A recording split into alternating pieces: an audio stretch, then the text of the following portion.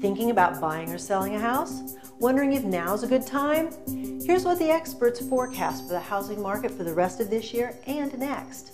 Here are some home price forecasts from three different sources. Look at the orange bars on the left. They show the averages of all three. Based on those averages, the experts project prices will end this year up almost 3% and then go up another 1.5% next year. Now remember, these forecasts show prices are expected to keep climbing, and that's one reason homeownership is typically a good investment in the long run. And here we can see total home sale forecasts for the same three organizations.